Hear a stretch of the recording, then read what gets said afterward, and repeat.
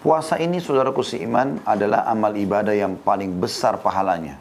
Bahkan mengalahkan seluruh ibadah yang lainnya. Disebutkan dalam sebuah hadis yang sahih. Di mana Rasulullah SAW bersabda hadis riwayat Bukhari Muslim. Kullu amal ibn Adam lahu al-hasanatu bi ashri amthaliha ila sab'amiyya dhi'fin. Yaqulu Allah azza wa jal.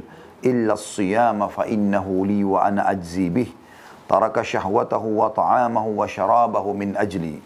فرحة عند farhatan farhatun 'inda fitrih wa farhatun 'inda liqa'i rabbih.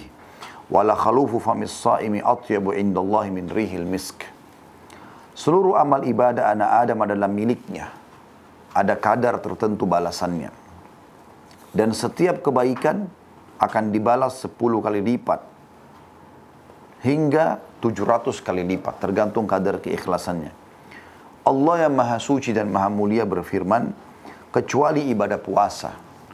Sesungguhnya ia adalah milikku dan akulah yang langsung membalasnya. Seseorang yang berpuasa telah menahan diri dari syahwat, makanan, dan minuman karena aku semata. Maka ada, ada dua kegembiraan yang aku siapkan bagi orang-orang yang berpuasa. Kegembiraan saat berbuka dan kegembiraan tak kala bertemu dengan Tuhannya. Dan ketahuilah bahwasanya bau mulut orang yang berpuasa lebih harum di sisi Allah daripada aroma minyak kasturi. Ini teman-teman sekalian, kalaupun cuma hadis ini tentang puasa Ramadan sudah cukup buat kita. Bagaimana mulianya ya, Allah subhanahu wa ta'ala menyebutkan secara langsung dalam hadis Qudsi ini yang disampaikan oleh utusannya Nabi besar Muhammad sallallahu alaihi wasallam tentang keutamaan. Di sini potongan pertamanya hadis menjelaskan bahwasanya semua amal ibadah anak Adam sudah ada penentuan kadar pahalanya kecuali puasa. Berarti menandakan puasa di sini sebagaimana saya katakan adalah amal yang paling besar pahalanya.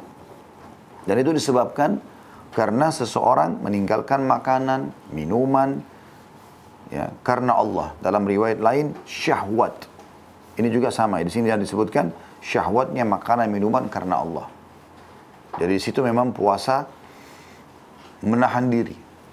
Dari yang halal pun, halal makanan, halal minuman, halal biologi suami istri, khusus dari azan subuh sampai azan maghrib, azan subuh sampai azan maghrib, nggak boleh sama sekali kita menikmati yang halal, apalagi yang haram.